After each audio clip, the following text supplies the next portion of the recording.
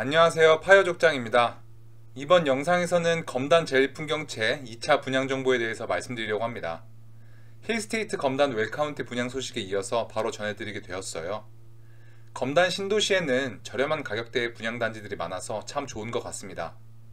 이 두 개 단지가 다행히도 당첨자 발표일이 달라서 두 군데 모두 처약 넣으실 수 있다는 거 기억해 두시고요. 일단 간단하게 요약된 분양 정보부터 볼게요. 검단 신도시 AB 18블럭에 1734세대가 분양을 합니다. 74 타입이 541세대, 84 타입이 656세대, 110 타입이 537세대로 총 1734세대입니다. 힐스테이트 웰카운티보다는 정확히 199세대가 많네요. 위치 같이 볼게요. AB 18블럭 여기에 있고요. 힐스테이트 기준으로 북쪽에 위치해 있습니다. 힐스테이트보다는 멀지만 인천 지하철 1호선 역세권이고 여기가 상업지구가 될 거예요. 그리고 여기는 유치원부터 초등학교, 중학교, 고등학교가 다 밀집되어 있고요. 제일 풍경채 2차 홈페이지를 둘러보니까 커뮤니티 시설이 엄청나더라고요. 호텔급의 커뮤니티 시설을 갖추고 있습니다. 일단 수영장 규모가 상당합니다. 게다가 사우나도 있고요. 골프 연습장과 헬스장도 있습니다. 요새 신축 아파트들은 사실 헬스장하고 골프 연습장은 다 있죠. 근데 수영장은 드문 케이스인데 굉장히 놀랐습니다. 여기 입주하시는 분들은 굉장히 좋을 것 같은데요. 저도 수영장 있는 집에 한번 살아보고 싶네요. 이제 본격적으로 시작해 볼게요. 자금 마련 계획에 대한 내용을 중점적으로 설명드리겠습니다. 제가 자금 마련 계산기 엑셀 파일을 분양단지가 나올 때마다 작성해서 공유해드리고 있어요. 제 채널의 영상을 자주 보시는 분들은 아 얘는 맨날 똑같은 얘기만 한다 이러실 수도 있는데 분양하는 단지가 매번 달라지기도 하고 저는 제 영상을 만들 때 처음 보시는 분들을 기준으로 설명을 하다 보니까 같은 말을 반복하는 경우가 많아요.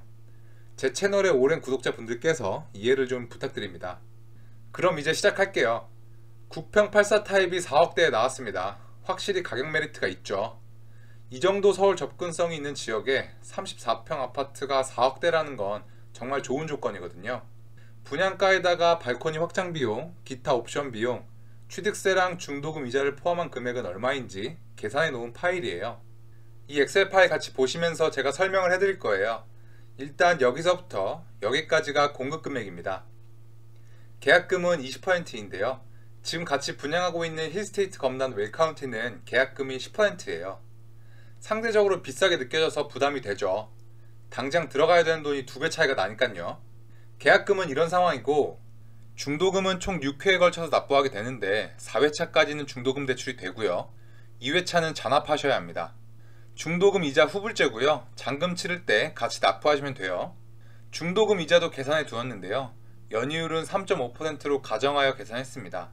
참고용으로 규모 정도만 파악하시면 될 것 같아요. 그리고 잔금은 20%입니다. 입주가 2025년 4월이라는 점을 인지하시고 자금 마련 계획 세우시기 바랍니다. 다음으로 옵션 비용을 같이 보시겠습니다. 옵션이 너무 많아서 이렇게 정리해놓고 보지 않으면 총 금액을 알기가 쉽지 않죠.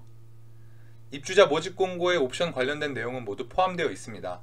저도 그걸 보고 작성한 건데 개인마다 선택하시는 옵션이 다르니까 이거는 옆에다가 입주자 모집 공고 펼쳐놓고 직접 골라가시면서 입력을 하셔야 돼요. 예를 하나만 들어보겠습니다. 시스템 에어컨 옵션 표를 보면요. 선택 1, 2, 선택 1, 2, 3 이렇게 나눠져 있죠. 저는 여기서 선택 2를 고른 겁니다. 그리고 엑셀에 선택 2에 대한 금액을 넣어 둔 것이죠. 이렇게 들어가 있죠.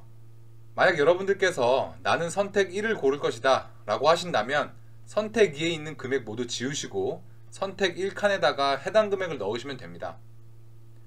현재 엑셀 파일은 풀옵션으로 작성되어 있다고 보시면 됩니다. 여기 선택 안 하실 옵션들의 금액들은 지워가면서 보시면 될 거예요. 이렇게 했을 때 타입별로 조금씩은 다르지만 옵션 비용이 4천만원 중반대에서 6천만원 중반대까지 나옵니다. 마지막으로 취득세 같이 보시겠습니다. 엑셀 파일에 참고하시라고 요약표를 넣어 두었어요. 이 표를 기준으로 작성하였습니다. 6억 이하는 취득세 1.0%에 지방교육세 1.0%를 더해서 총 1.1%입니다. 6억 초과에서 9억 이하는 금액 구간에 따른 세율이 적용되고요. 여기서 면적이 8호제곱미터를 초과하면 농어촌 특별세가 가산돼요. 그러니까 110 타입을 선택하시는 분들은 농어촌 특별세 0.2%가 가산됩니다. 이 점 참고하시기 바랍니다. 이렇게 해서 총 합계 금액까지 계산해 보았는데요. 입주자 모집 공고에 찍혀 있는 공급 금액이랑 차이가 좀 있죠. 74, 84 타입은 6, 7천만 원 정도 차이가 나고요. 110 타입은 약 9천만 원 정도까지 차이가 납니다. 개인이 선택하는 옵션에 따라서 차이는 좀 있겠지만요. 분양가만 보시고 자금 마련 계획 세우시면 절대 안 된다는 거 잊지 마시고요. 이 엑셀 파일은 제 네이버 카페에 업로드를 해두었습니다. 제 카페 주소는 영상 설명란에 적어 둘게요. 카페 가입을 하셔야 다운로드 받을 수 있으니까 지금 바로 카페 가입부터 진행해 주시고요. 여기 보시면 청약정보 게시판에 업로드 해놓았으니 필요하신 분들은 잘 활용하시기 바랍니다. 이번 영상은 여기서 마치도록 하겠습니다. 이 영상이 마음에 들거나 도움이 되셨다면 구독과 좋아요 한 번씩 부탁드리고요. 저는 다음 영상에서 더 좋은 정보를 가지고 찾아뵙도록 하겠습니다. 감사합니다.